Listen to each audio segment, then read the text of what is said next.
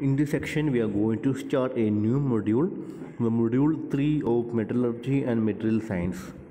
Okay, so so we will start the module 3 with the need for alloying. So, need for alloying. What is the purpose of alloying? Why we are alloying metals? That all things we need to study in this module.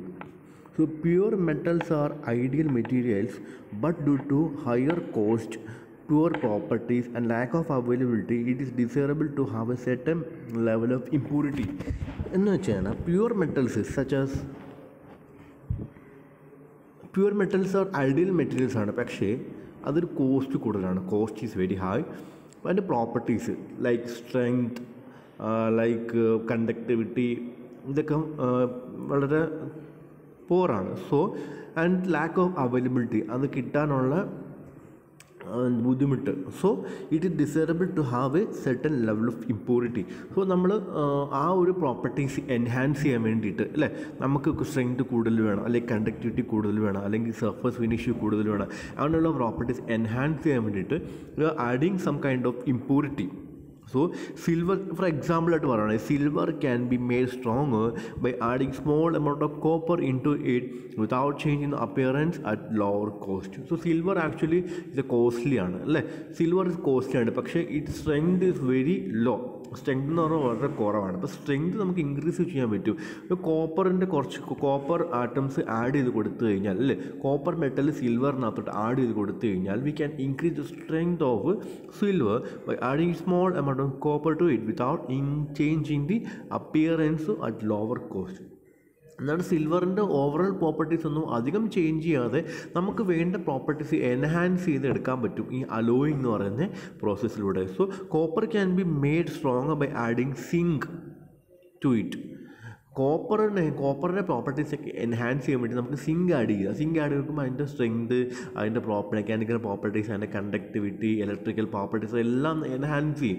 So അതാണ് need of alloying so alloying pure metals are actually very costly and due to lack of availability and pure property we are adding some impurity to enhance the mechanical electrical and other properties okay So upon alloying, infinite number of materials can be prepared with varied property, yield, yield strength, hardness, and creep resistance of pure metal can be enhanced, by ductility and electrical conductivity pure metal in lowered so നമ്മൾ impurity add ചെയ്യുമ്പോൾ C pure metal example എടുക്കുകയാണെങ്കിൽ silver having electrical conductivity and ductility is very high pure pure metal pure മെറ്റലിന് ductility electric conductivity വളരെ കൂടുതലാണ്. പക്ഷേ നമുക്ക് impurity add ചെയ്യും copper add ചെയ്യുന്നു copper add ചെയ്യുമ്പോൾ ഇലക്ട്രിക്കൽ കണ്ടക്ടിവിറ്റി കുറയുന്നു ഡക്ടിലിറ്റിയും കുറയുന്നു. പക്ഷേ some other properties like mechanical strength strength hardness everything will increase so we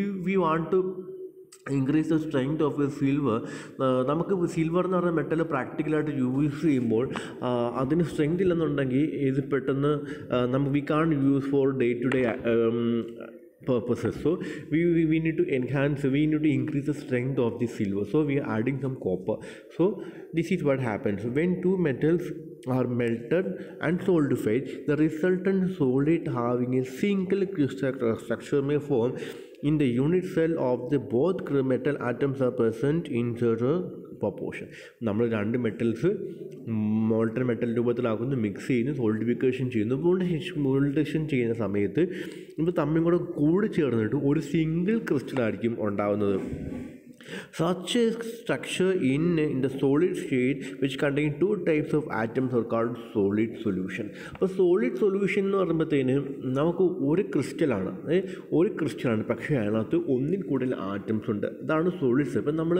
solution solution എന്ന് പറയുമ്പോഴത്തേന് നമ്മൾ ഒരു ലിക്വിഡ് ലിക്വിഡിനകത്ത് ഒരു സോൾവെന്റ് ഉണ്ട്. ഒരു സോൾവെന്റ് ഉണ്ട് സൊല്യൂട്ട് ഉണ്ട്. എക്സാമ്പിൾ നമ്മുടെ ഷുഗർ സൊല്യൂഷൻ അല്ലെങ്കിൽ സാൾട്ട് സൊല്യൂഷൻ ഇതെല്ലാം ലിക്വിഡ് സൊല്യൂഷനാണ് അല്ലേ? ലിക്വിഡ് ഫോമിലാണ് ഇരിക്കുന്നത്. അപ്പോൾ ലിക്വിഡ് സൊല്യൂഷൻ ആണ്. അതിനകത്ത് ഒരു ലിക്വിഡ് എന്ന് പറയുന്നത് വാട്ടർ ആയിരിക്കും. സോൾവെന്റ് സൊല്യൂട്ട് എന്ന് പറയുമ്പോൾ ഒന്നെങ്കിൽ ഷുഗർ ആയിരിക്കും അല്ലെങ്കിൽ സാൾട്ട് ആയിരിക്കും. അതുപോലെ തന്നെ സോളിഡ് സൊല്യൂഷൻ എന്ന് പറയുമ്പോഴത്തേന് മെറ്റൽ സോൾഡിഫിക്കേഷൻ ചെയ്ത് നമ്മൾ നോക്കുമ്പോൾ ഒരു ക്രിസ്റ്റൽ സ്ട്രക്ചറാണ് പക്ഷേ വാട്ട് ഹാപ്പൻസ് ഈസ് ദാറ്റ് അതിനകത്ത് ഒന്നിൽ കൂടുതൽ atoms it contain more than one atom അങ്ങനെ വരുന്നതിനെ പറയുന്ന പേരാണ് സോളിഡ് സൊല്യൂഷൻ എന്ന് പറയുന്നത്. Okay alloy or solid solution. Alloy or solid solutions are metals in which impurity atoms are added purposely to bring some special properties to the material.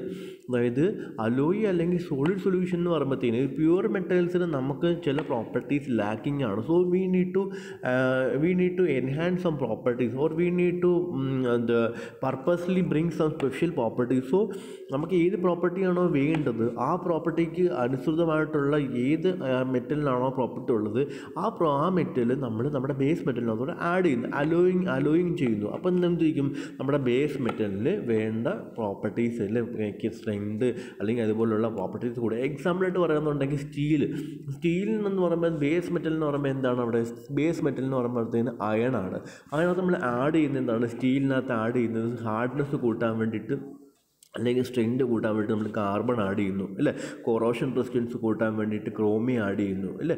അങ്ങനെ അങ്ങനെ ഓരോ nickel add ചെയ്യുന്നു. അപ്പോൾ ഓരോ ഓരോ എലമെൻസും അലോയിങ് എലമെൻസും ആഡ് ചെയ്യുമ്പോൾ അതിന്റെ പ്രോപ്പർട്ടീസ് നമുക്ക് വേണ്ട പ്രോപ്പർട്ടീസിനനുസരിച്ച് നമുക്ക് ബ്രിങ് ചെയ്യാൻ പറ്റും അല്ലേ? ടൈലർ ചെയ്തെടുക്കാൻ പറ്റും. അപ്പോൾ ഇതിനകത്തൊരു അലോയ് എടുക്കുകയാണെങ്കിൽ രണ്ട് കമ്പൗണ്ട് ഉണ്ട് അതിനകത്ത്. ഇതിനകത്ത് സൊല്യൂട്ട് ഉണ്ട് സോൾവെന്റ് ഉണ്ട്. സൊല്യൂട്ട് ഉണ്ട് so in case of alloy term solute and solvent are generally use solvent mean mean element or compound that is present in large quantity. Sometimes solute atoms are also called host atoms. Solute atoms is used to in element with present minor concentration. അതായത് ഒരു solid solution എടുത്തു കഴിഞ്ഞാൽ അതിനകത്ത് majority component ഏതാണോ അതിനെ പറയുന്ന പേരാണ് solvent atoms അതിന്റെ സ്മോൾ മൈനോറിറ്റി കമ്പോണന്റ് ആയിട്ട് ഉള്ളതിനെ പറയുന്നതാണ് സൊല്യൂട്ട് ആറ്റംസ് എന്ന് പറയുന്നത് അപ്പോൾ സൊല്യൂട്ട് ആറ്റംസ് നമ്മൾ it will be in minor concentration and solvent atoms it will be in major concentration so in case of cast iron അല്ലെങ്കിൽ സ്റ്റീൽ എടുക്കുമ്പോൾ അതിനകത്ത് എന്ന് പറയുമ്പോൾ എന്താണ്? അയൺ ആണ് അയൺ അയൺ ആറ്റംസ് ആണ് സോൾവെന്റ് നമ്പർ സൊല്യൂട്ട് ആറ്റംസ് എന്ന് പറയുമ്പോൾ നമുക്ക് എന്ത് പറയാം? കാർബൺ അല്ലെ? കാർബൺ ആഡ് ചെയ്ത് കൊടുക്കുന്നു. കാർബൺ ആഡ് ചെയ്യുന്നത് പിന്നെ ക്രോമിയം നിക്കൽ ഇതെല്ലാം എന്താണ്? സൊല്യൂട്ട് ആറ്റംസ് ആണ്. സോ സോൾവെന്റ് ആൻഡ് സൊല്യൂട്ട് ആണ് എന്താണെന്ന് മനസ്സിലായെന്ന് വിചാരിക്കുന്നു. So there are basically two type of solid solution. The first one is substitutional solid solution and the second one is interstitial solid solution. So substitution solid solution എന്ന് പറയുമ്പോഴത്തേക്കും നമുക്കറിയാം ഒരു solid സൊല്യൂഷനകത്ത് ഒരു solvent atom ഉണ്ട് ഒരു solute atom ഒരെണ്ണ solvent atoms ഉണ്ട് solute atoms ഉണ്ട് in substitution solid solution solute or impurity atoms replace or substitute for the host atoms host atoms എന്ന് പറയുമ്പോൾ നമ്മുടെ സോൾവെന്റ് ആറ്റത്തിനെ എടുത്ത് മാറ്റിയിട്ട് അതിന് പകരം ആര് വന്നിരിക്കും? ഒരു സൊല്യൂട്ട് ആറ്റം വന്നിരിക്കുന്നു. അങ്ങനെയുള്ള സൊല്യൂഷനെ പറയുന്ന പേരാണ് സബ്സ്റ്റിറ്റ്യൂഷണൽ സോളിഡ് സൊല്യൂഷൻ എന്ന് പറയുമ്പോൾ സബ്സ്റ്റിറ്റ്യൂഷൻ സോളിഡ് സൊല്യൂഷൻ രണ്ട് ടൈപ്പ് ഉണ്ട്. First one random substitution solid solution and ordered substitutional solid solution random substitution solid solution എന്ന് പറയുമ്പോഴത്തേന് ആറ്റംസിന്റെ അറേഞ്ച്മെന്റ് ഒരു റാൻഡം മാനറിലായിരിക്കും അതായത് നമ്മൾ ഈ വരുന്ന സൊല്യൂട്ട് ആറ്റംസ് സോൾവെന്റ് ആറ്റത്തിന്റെ ഇടയ്ക്ക് കയറിയിരിക്കുന്ന അറേഞ്ച്മെന്റ്സ് ഒരു റാൻഡം ഓർഡർ ആയിരിക്കും. Okay but in order substitution solution the solute atoms get properly arranged along the solvent atom solvent ആറ്റത്തിന്റെ ഇടയ്ക്കായിട്ട് ഒരു പ്രോപ്പർ ഒരു ഒരു റിപ്പീറ്റിംഗ് അറേഞ്ച്മെന്റ്സ് ആയിരിക്കും ഓർഡർ സബ്സ്റ്റിറ്റ്യൂഷൻ ഈ ഫിഗർ നോക്കിയിട്ട് തന്നെ നമുക്ക് അറിയാൻ പറ്റും. ഇതുണ്ടോ? ഇതെല്ലാം സൊല്യൂട്ട് ആറ്റംസ് ഇതെല്ലാം അവിടെ ഇവിടെയൊക്കെ നമുക്കൊരു പ്രോപ്പർ അറേഞ്ച്മെന്റ് റാൻഡം ആയിട്ടിരിക്കും. പക്ഷേ ഇവിടെ കണ്ടോ? ഇവിടെ കറക്റ്റ് ഒരു പ്രോപ്പർ അറേഞ്ച്മെന്റ് ഉണ്ട്. ഈ അറേഞ്ച്മെന്റ് തന്നെയാണ് ഓരോ ലൈനിലും റിപ്പീറ്റ് ചെയ്ത് വരുന്നത്. അപ്പോൾ ഇതെന്താണ്? ഓർഡർ സബ്സ്റ്റിറ്റ്യൂഷൻ സൊല്യൂഷനാണ് ഓക്കെ നെക്സ്റ്റ് എന്ന് വെച്ചാൽ interstitial solid solution C substitution solid solution അത് സോൾവെന്റ് ആറ്റത്തിനെ ആർ റീപ്ലേസ് ചെയ്യുന്നു? സൊല്യൂട്ട് ആറ്റംസ് റീപ്ലേസ് ചെയ്യുന്നു. പക്ഷേ ഇൻഡസ്ട്രീഷ്യൽ സോളിഡ് സൊല്യൂഷൻ എന്ന് പറഞ്ഞാൽ when the solute atoms are much smaller than solvent atom solute atoms solvent ആറ്റത്തിനെക്കാട്ടിലും വളരെ ചെറുതാകുമ്പോൾ they may occupy the interstitial voids between solvent atoms അപ്പം solute atoms നമ്മുടെ solvent ആറ്റത്തിനേക്കാളും വളരെ ചെറുതാകുമ്പോൾ ഈ സോൾവെന്റ് ആറ്റംസ് തമ്മിൽ ഇടയ്ക്കുള്ള വോയിഡ്സിൽ ആരൊക്കുപ്പ് ചെയ്യും? ഈ സൊല്യൂട്ട് ആറ്റംസ് ഒക്യുപ്പൈ ചെയ്ത് കണ്ട് ഈ ഫിഗറിനകത്ത് നമുക്ക് കാണാം. സൊല്യൂട്ട് ആറ്റംസ് വളരെ വലുതാണ്. പക്ഷേ സോൾവെന്റ് സോൾവെന്റ് ആറ്റംസ് വളരെ വലുതാണ്. പക്ഷേ സൊല്യൂട്ട് ആറ്റംസ് ചെറുതാണ്. അപ്പോൾ എന്തെടുക്കും? ഈ സോൾവെന്റ് ആറ്റത്തിന് ഇടയ്ക്കുള്ള വോയിഡ് സ്പേസിലോട്ട് ആര് വന്നിരിക്കും? ഈ സൊല്യൂട്ട് ആറ്റംസ് വന്നിരിക്കും. അങ്ങനെ ഉണ്ടാകുന്ന സോളിഡ് സൊല്യൂഷൻ പറയുന്ന പേരാണ് ഇൻഡസ്ട്രിഷ്യൽ സോളിഡ് സൊല്യൂഷൻ മെയിനായിട്ട് carbon hydrogen nitrogen boron atoms എല്ലാം വളരെ ചെറിയ ആറ്റംസ് ആണ്.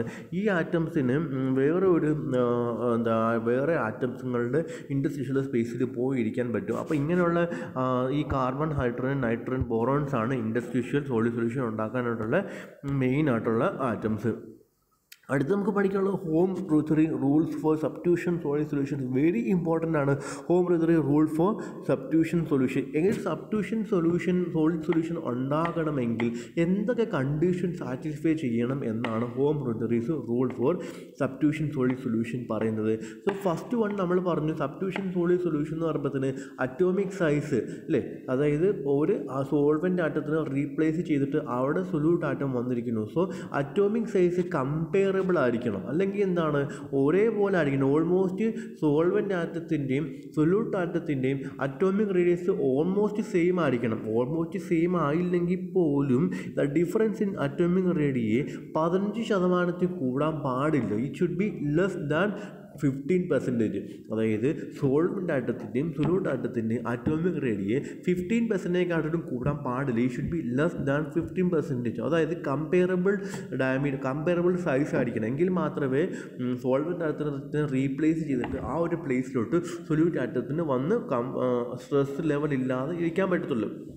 Second one is crystal structure so നമ്മുടെ ലോജിക്കലി ചിന്തിക്കുമ്പോൾ തന്നെ അറിയാം. ഒരു solvent ആറ്റത്തിന്റെ crystal structure F C C ആണെങ്കിൽ സൊല്യൂട്ട് ആറ്റത്തിനും എഫ് സി സി ആണെങ്കിൽ മാത്രമേ അവിടെ പ്രോപ്പർ സോൾ സബ്റ്റ്യൂഷണൽ സൊല്യൂഷൻ ഉണ്ടാ ഉണ്ടാവത്തുള്ളൂ. അതായത് രണ്ടും രണ്ട് ക്രിസ്റ്റൽ സ്ട്രക്ചറും കോമ്പാക്റ്റബിൾ ആണെങ്കിൽ മാത്രമേ നമുക്കവിടെ proper substitutional solid solution ഉണ്ടാകത്തുള്ളൂ second one electronegativity electronegativity to metal must be small രണ്ട് മെറ്റൽസ് തമ്മിലുള്ള ഇലക്ട്രോ നെഗറ്റിവിറ്റി വളരെ ചെറുതായിരിക്കണം. അതായത് ഓൾമോസ്റ്റ് സെയിം ഇലക്ട്രോ നെഗറ്റിവിറ്റി വളരെ ചെറിയ ഡിഫറൻസ് മാത്രമേ ഉണ്ടാകാൻ പാടില്ല last വണ്ണാണ് valency the valency of the atoms must be same അല്ലെങ്കിൽ കമ്പയറബിൾ ആയിരിക്കും. അല്ലെങ്കിൽ വാലൻസി ഡിഫറൻസ് വളരെ ചെറുതായിരിക്കണം. അതാണ് ഉദ്ദേശം. ഇപ്പം എത്ര പോയിന്റ് ഉണ്ട്? നാല് പോയിന്റ് ഉണ്ട്. Atomic side factor should be comparable or the difference should be less than fifteen percent second one crystal structure it it must be same crystal structure and electronegativity electronegativity difference must be very small or should be comparable and last one is valency of the atoms must be same.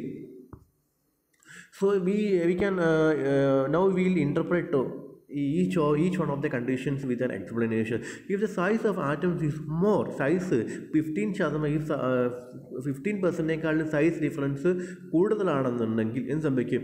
The size of atoms is more there will be an intense stress field around the solute atom ഈ solute ആറ്റത്തിന് ചുറ്റും intense stress ഒരു create ചെയ്യും. അപ്പോൾ കൂടുതൽ stress ഉണ്ടാകും this may lead to an increase in potential of the crystal and solubility become limited അതായത് ഈ രണ്ട് സോളിഡ് ആറ്റവും സൊല്യൂട്ട് ആറ്റവും സോൾവന്റ് ആറ്റം തമ്മിലുള്ള സൈസ് ഡിഫറൻസ് പതിനഞ്ച് ശതമാനത്തിൽ കൂടുതലാണെന്നുണ്ടെങ്കിൽ സൊല്യൂട്ട് ആറ്റംസ് സോളിഡ് സോൾവന്റ് ആറ്റംസിന് ഇടയ്ക്കോട്ട് ഇരിക്കുമ്പോൾ ദി അതിന് സ്റ്റേബിളായിട്ട് ഇരിക്കാൻ പറ്റത്തില്ല. അവിടെ എന്ത് അവിടെ ഒരു സ്ട്രെസ് ഫീൽഡ് ക്രിയേറ്റ് ചെയ്യും. അപ്പോൾ ആ സ്ട്രെസ് ഫീൽഡ് ക്രിയേറ്റ് ചെയ്യുമ്പോഴത്തേന് അവിടെ അത് സ്റ്റേബിൾ അല്ല. അപ്പോൾ സംഭവിക്കും? സോൾവെന്റ് ആറ്റംസിനകത്തോട്ട് സൊല്യൂട്ട് ആറ്റംസ് വന്ന് കംപ്ലീറ്റ് ആയിട്ട് എന്താ സോലിബിലിറ്റി ഉണ്ടാവത്തില്ല so solubility become limited so complete solubility can occur when the crystals identical ഇത് നമ്മൾ പറഞ്ഞു രണ്ട് ക്രിസ്റ്റൽസ് ഐഡന്റിക്കലാണെങ്കിൽ മാത്രമേ കംപ്ലീറ്റ് സോലിബിലിറ്റി ഉണ്ടാവത്തുള്ളൂ ഓക്കെ പിന്നെ നമ്മൾ പറഞ്ഞു വാലൻസി സെയിം ആയിരിക്കണം ഇലക്ട്രോ നെഗറ്റിവിറ്റി ഓൾമോസ്റ്റ് സെയിം ആയിരിക്കണം. പിന്നെ ഒരു എക്സാമ്പിൾ കൊടുത്തിട്ട് copper solution of solid solution of copper nickel ഇത് example of substitution solid solution അതായത് അതിന്റെ അറ്റോമിക് റേഡിയോ എന്ന് പറയുമ്പോൾ പോയിന്റ് ടു വൺ ടു എയ്റ്റും പോയിന്റ് വൺ ടു ഫൈവ് ആണ്. അപ്പോൾ അറ്റോമിക് റേഡിയോ കമ്പയറബിൾ ആണ്. അതിന്റെ ഡിഫറൻസ് ഒരുപാട് ഫിഫ്റ്റി പെർസെന്റേജ് കൂടുതലൊന്നുമല്ല. പിന്നെ രണ്ടിന്റെ ക്രിസ്റ്റൽ സ്ട്രക്ചർ സെയിം ആണ്. എഫ് സി സി ആണ്. ഇലക്ട്രോ നെഗറ്റിവിറ്റിയും ഓൾമോസ്റ്റ് സെയിം ആണ്. One point nine one point eight ആണ്. വാലൻസി പ്ലസ് വണ്ണും കോപ്പർ പ്ലസ് ടു നിക്കലും ആണ്. അതും ഓൾമോസ്റ്റ് കമ്പയറബിൾ ആണ്. അപ്പോൾ ഈ ഒരു പ്രോപ്പർട്ടി ഹോമോറെതറി റൂൾസ് പറയുന്ന നാല് property almost copper nickel satisfy ചെയ്യുന്നുണ്ട്. സോ നമുക്ക് കോപ്പർ നിക്കൽ ഒരു സബ്സ്റ്റിറ്റ്യൂഷൻ സോൾഡ് സൊല്യൂഷൻ ആണെന്ന് നമുക്ക് പറയാം. അപ്പോൾ നെക്സ്റ്റ് വൺ നമുക്ക് പറയാനുള്ളത് ഇൻഡസ്ട്രീഷ്യൽ സോളിഡ് സൊല്യൂഷനാണ് ഇൻഡസ്ട്രീഷ്യൽ സോളിഡ് സൊല്യൂഷന്റെ ഹോം ബ്രദറി റൂൾ എന്തൊക്കെയാണ് ഇൻഡസ്ട്രീഷ്യൽ സോളിഡ് സൊല്യൂഷൻ എവിടെയാണ് നടക്കുന്നത്? Solute atoms must be smaller than the voids in the solvent lattice അതായത് ഈ സോൾവൻ ലാറ്റീസിലെ വോയിസിനെ വോയിസിനെക്കാളും ചെറുതായിരിക്കണം നമ്മുടെ ആ ഒരു സൊല്യൂട്ട് ആറ്റംസ് അങ്ങനെ ഉണ്ടെങ്കിൽ മാത്രമേ അവിടെ ഇൻഡസ്ട്രീഷ്യൽ സോളിഡ് സൊല്യൂഷൻ ഉണ്ടാകത്തുള്ളൂ. രണ്ടാമത്തെ റൂൾ എന്ന് പറയുമ്പോൾ solute and solvent should have similar electronegativity അപ്പോൾ ഇത്രയാണ് നമുക്ക് ഈ വീഡിയോയ്ക്കകത്ത് പറയാനുള്ളത്. അപ്പോൾ അടുത്ത വീഡിയോയ്ക്കകത്ത് നമുക്ക് കൂടുതൽ ഡീറ്റെയിൽഡായിട്ട് നമുക്ക് കാര്യങ്ങൾ പഠിക്കാം. ഓക്കെ ശരി